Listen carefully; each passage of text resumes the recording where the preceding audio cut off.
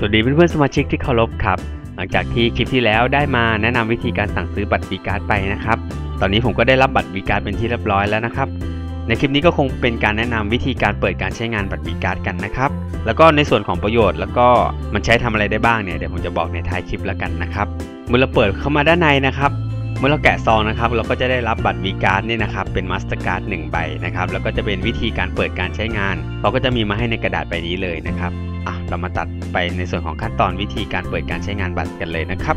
เสร็จแล้วก็ให้เพื่อนๆนะครับมาเปิดแอปพลิเคชันขึ้นมานะครับเมื่อเราเปิดแอปพลิเคชันขึ้นมาเรียบร้อยนะครับก็ให้เพื่อนๆมาเลือกตรงนี้นะครับคำว่า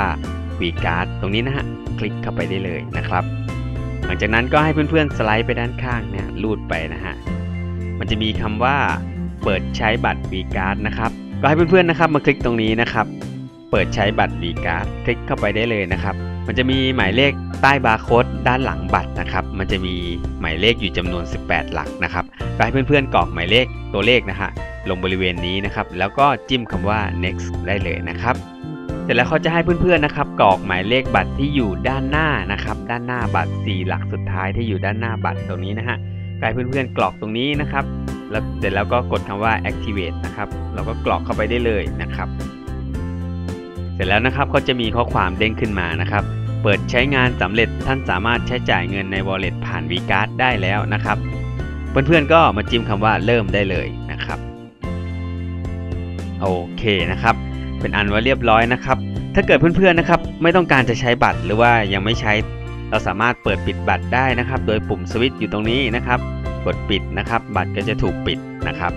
เมื่อจะใช้เมื่อไหร่ก็ค่อยเปิดนะครับ เพื่อเป็นการ safety เวลาที่ใครมาเจอบัตรหรือเอาบัตรของเราไปใช้เนี่ยก็ไม่สามารถใช้งานได้นะครับ แล้วก็หลังบัตรนะครับเขาจะมีให้เราทำการเขียนชื่อนะครับ เขียนชื่อของเราเขียนชื่อนามสกุล หรือว่าเขียนลายเซ็นของเราให้เรียบร้อยนะครับ เพื่อเวลาที่เราไปใช้งานในส่วนของบัตรเครดิตเนี่ยเราจะต้องเซ็นชื่อด้วย แล้วเขาจะเทียบลายเซ็นว่ามันตรงกันไหมนะครับ หลังจากที่เราใช้งานบัตรเนี่ยไม่ว่าเราจะใช้ในกรณีใด ๆ นะครับ ซื้อของในห้าง หรือว่าทานอาหารในร้านอาหารที่เขารับมาสเตอร์การ์ดเนี่ยมันก็จะมีข้อความเด้งขึ้นมานะครับว่ามีการใช้เงินใน wallet ของเราออกไปเท่าไหร่นะครับ ซึ่งบัตรตัวนี้มันเชื่อมโยงกับบัญชีของเราใน wallet นะครับก็คือเราเติมเงินไว้เท่าไหร่นะครับเราสามารถใช้ตัวเนี้ยเข้าไปในบัตร WeCard TrueMoney WeCard ได้เลยนะครับเราใช้ได้ที่ไหนบ้างนะครับ สถานที่ที่เราใช้เราก็สังเกตดูมันจะมีคำว่า mastercard นะครับถ้าตรงไหนที่มีคำว่า mastercard เนี่ยนะฮะ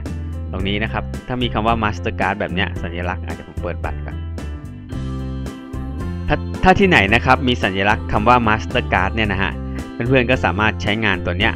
บัตรบัตรของเราเนี่ยสามารถใช้รูดได้เลย ไม่ว่าจะเป็นการเติมน้ำมันนะครับ ซื้อของในห้างนะครับทานข้าวที่ร้านอาหารนะครับ หรือว่าจะหรือว่าจะช้อปปิ้งออนไลน์อะไรก็แล้วแต่นะครับ ที่เพื่อนๆสามารถใช้บัตรที่มีคำว่า Mastercard ได้เนี่ยมันก็จะสะดวกมากๆ คือเพื่อนๆไม่ต้องพกเงินสดนะครับ เพียงเราเติมเงินเข้าไปใน wallet แล้วก็ใช้บัตรมันเหมือนกับเราใช้บัตรเครดิต1ใบเลยนะครับก็หวังว่าคลิปนี้นะครับจะเป็นประโยชน์กับเพื่อนๆบ้างไม่มากก็น้อยนะครับก็อย่าลืมกดติดตามกดไลค์ subscribe กดแชร์แล้วก็สามารถดูคลิปอื่นๆได้ที่ถ่ายคลิปนะครับขอบคุณที่เข้ามารับชมรับฟังครับผม สวัสดีครับ